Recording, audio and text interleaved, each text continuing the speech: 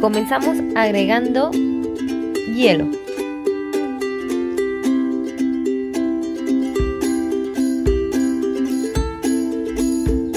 Después colocamos medio limón.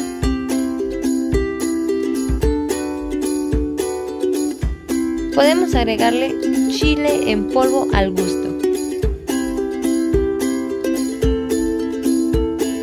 Carnation hasta el nivel medio.